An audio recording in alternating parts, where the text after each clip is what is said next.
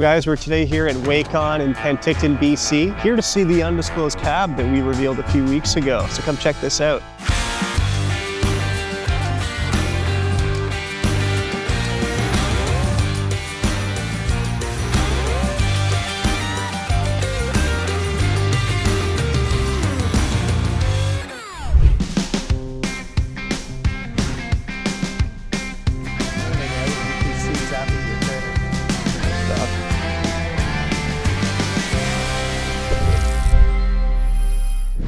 As Eric mentioned, we're here at Waycon. My name is Peter. Ever since I started back in May, this has been my main project, working on this cab. Obviously sitting in it today, pretty exciting.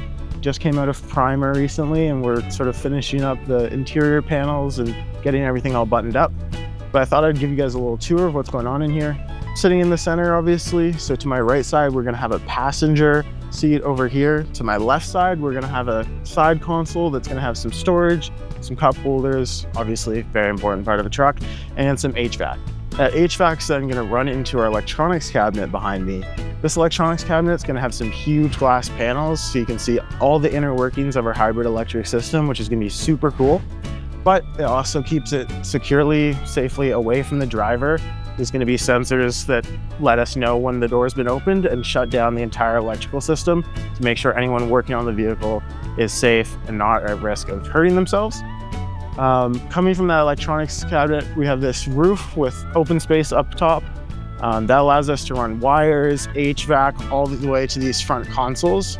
In these roof consoles, we're gonna have our screens up here for controls and vital information from the hybrid system. Then we're gonna have our radio, CB radio, a little bit more storage up there, but yeah, super nice, super easy to see, able to grab it from the driver's seat. Then coming down to your center console, obviously you're gonna have our steering wheel, steering columns right there. We're gonna have all our control buttons right here, nice and easy to access for the driver um, air brake controls and whatnot. And then obviously one of the unique features of this truck is the dozer style doors over here. So the doors are actually not on the side of the vehicle, but the front. So they push out frontwards like a, like a dozer does it. Um, that gives us really actually easy access to get into the cab from the front. Um, you're not fighting against the seats and stuff to get in. So it's a pretty unique truck, but we're really excited to see it come together here in the next few weeks and can't wait to show you guys the finished product. This is what we got right now. She's uh, sitting here in primer and yeah, honestly, I'm, I'm pretty impressed with it. This customer was really pushing the center seating, the forward visibility. They wanted a cab over because they have so much stuff behind the truck that they needed to move that cab forward and be able to operate their body equipment. But we've got great visibility out the front. Yeah, we figured that now we're in the stage where we've got it all framed in. We're starting to put the side pieces on and it's starting to look more like a cab. So we thought this is the perfect day to give it a little inspection. It's nice. Being able to see it from 3D files to something that's really here that you can touch and knock on is, honestly, it feels good. My name is Tara. Tara O'Connell. I work for Waycon Manufacturing and I'm a partner in the business. We do a variety of stuff, typically industrial manufacturing, but we have a lot of solutions that we offer within that. Design for manufacturability is a big piece of what we do. We also do contract manufacturing where we work very closely with our clients. They have a product and we'll take care of the build. Um, we also do prototype work where we offer a lot of like the engineering support as well as we plug and play that into our facility. I suppose the main essence is we work with steel and we turn it into a really cool product. We do everything in-house here, so we're a complete one-stop shop. And I think that's one of the reasons why our customers like working with us because we really do take care of everything from start to finish. We do it all.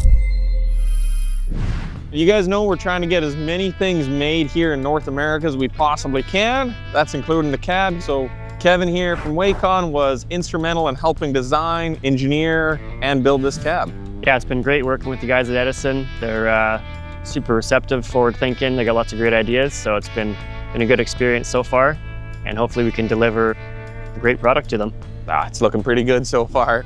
Kevin here has been making sure that we can implement the changes the customer wants. So I guess we'll find out here in about a half hour what they actually think once they see it in real time. Sounds good. So It's always a little different, eh? Once you go from like a 3D model to seeing it in person. It looks a bit different in the shop than it does in the computer, that's for sure. Basically, Peter sent me uh, his CAD model which was, you know, the outside profile, shape, shell, a lot of the interior features. And then uh, I did some redesign on how we wanted to do the sheet metal forming and how we wanted some of the edges and the corners to come together just for fabrication and welding purposes. Then we had weekly meetings discussing details and challenges as they came up. Um, you know, just sharing CAD back and forth and figuring out what's going to work for, for Edison in terms of integrating all the components and what's going to work for us in terms of fabrication and being able to get it done properly. So it's a pretty, like in terms of design projects, it was pretty standard, a little more complicated than most, but you know, the process is the same whenever we approach something design-wise like this. The windows were challenging. Definitely getting that rolling window to work inside the envelope that you guys wanted um, with keeping the visibility, space constraints, and you know, making space for the motor and getting that all working. And then some of the sheet metal stuff was a little challenging, just making sure we're gonna have corners come together properly, keeping weight down, so we're trying to make stuff as thin as possible, adding bends for rigidity, that kind of thing there. So gotta think about every single part, nothing's really standard, so everything is new. All right, so we met with our customer here. They came and had a look. We sat in the cab. This is one of the important things though about building locally and doing this is that we can come to the stage where it's just a skin. We can have a look. One of the things when we sat in there, we were worried about that visibility out of this. One of the issues we had about putting the increased visibility in here is that there's a window regulator and a piece that comes in here. So we can't have this a big window because of all that hardware. So then we were thinking, well, what if we made this the window, brought this back, and the window slid back, that would get, get rid of the um, need to have that window regulator. So they had one that was out here. This is a different one. Obviously ours will be custom, but it gives you an idea. That window essentially just slides back like that. Slides forward, and that allows this glass area here to increase the driver visibility. It's gonna be weird. I've driven Topsy a bit now. It is definitely weird to go from a traditional truck cab to where you're sitting in the middle. Anything we can do to make the operator a lot more comfortable with the new center seating, I think is a win, and I think this is gonna be a cool improvement. Obviously, this is just held on there right now, so this is the chance. We'll take this out, we'll work on a little bit of redesign, we'll work on finding a window like that. We'll make some changes, and I think overall it was a great visit with the customer.